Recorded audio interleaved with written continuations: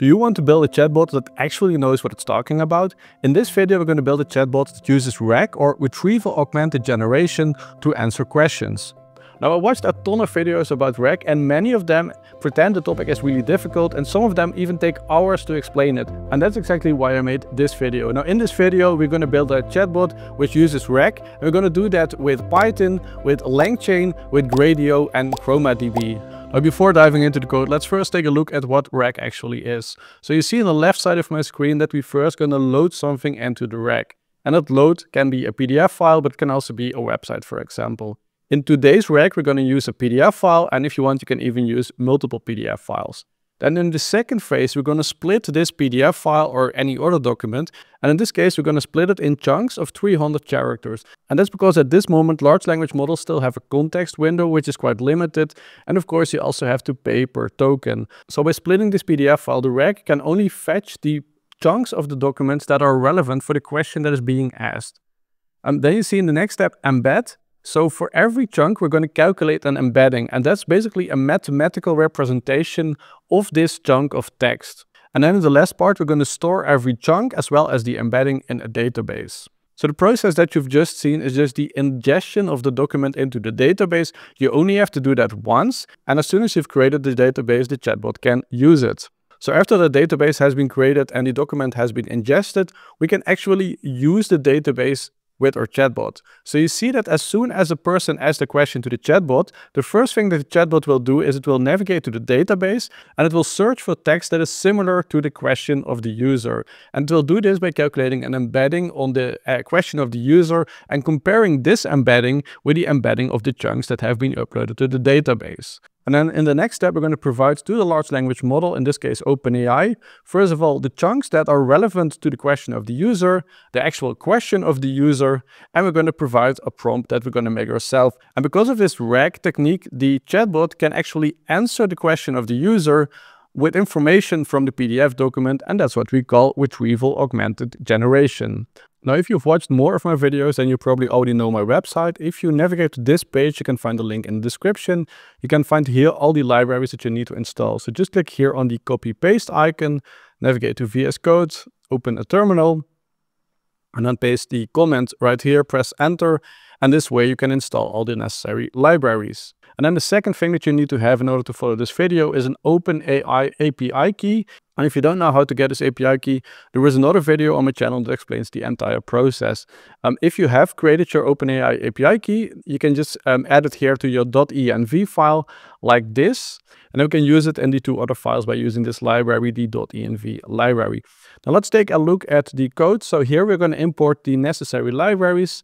Um, this is required in order to load the .env file, this file. And then before I forget it, um, I have a PDF file and I've stored it in the um, directory data. And any PDF file that you store here, you can as well uh, add multiple files in here, will be added to the uh, semantic database. And the PDF file that I'm using is this one, attention is all you need. So this is the introduction paper from the uh, transformer model. And you can as well find a link to this PDF file if you want to use the same um, PDF file on our website um, by clicking on this link right here. But of course, as I mentioned, you can use any PDF file. Then you see that I have a few lines for configuration. So the data is stored in the data pod. The ChromaDB is stored in the ChromaDB um, directory. This directory doesn't exist yet because the script is going to create it itself. And then this is where we actually uh, created the embeddings model. So the model that's going to calculate the embeddings. And then as you can see, this is where I create the vector store. So this is actually the semantic database where we will add all the chunks of, uh, of the file. Um, I'm creating a collection which is now called example collection. Of course, you can give it any name if you change it. Also, don't forget to change it in the chatbot.py file. Um, so this is where we use the embeddings model in order to calculate the embeddings. Then you see here loader is PDF um, uh, directory loader. So this is where we actually load the PDF file. Of course, if you want to um, create a RAG based on a website, for example, you're going to use another loader and you're going to use be probably Beautiful Soup and these kind of libraries. So we load the raw documents and this is where we split them. And um, in this uh, example, I've um, chosen for a chunk size of 300 characters and an overlap of 100 characters. But if you have documents that require way more or maybe even less context, then you can change this to maybe 500 or 200. Um, you can just experiment with it. And this is where we then have at the end the chunks. So we just have a list of all the chunks um, uh, containing uh, all the different parts of this document. So UUIDs, this is a library that I use to create uh, unique IDs. It's imported right here. And basically um, with the unique um, identifier of every chunk, you can basically delete or you can edit chunks. In this tutorial, I'm not going to do that, but it's uh, theoretically possible.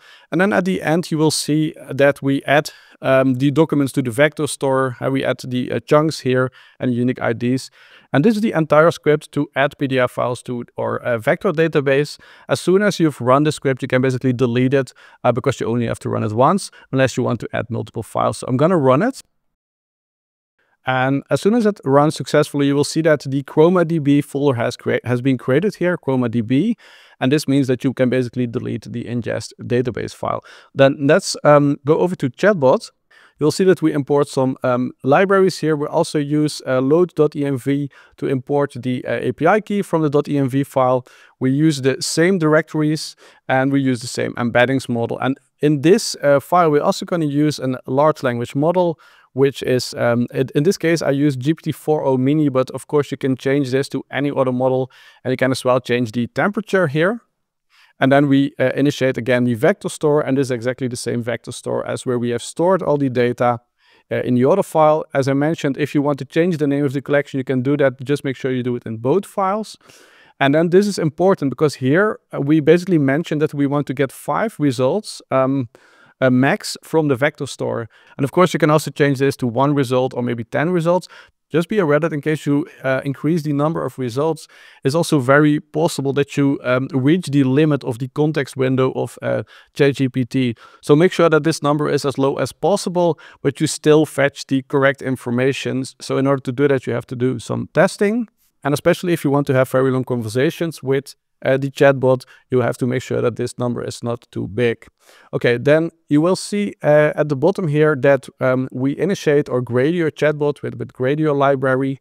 Uh, of course, you can change all of this, uh, but what is important here is that here we refer to the function stream response, and that's exactly this function. So every time uh, someone types something in the chatbot and presses enter, this function will be triggered. You can, if you want, you can um, you can uh, make it visible here. What what happens?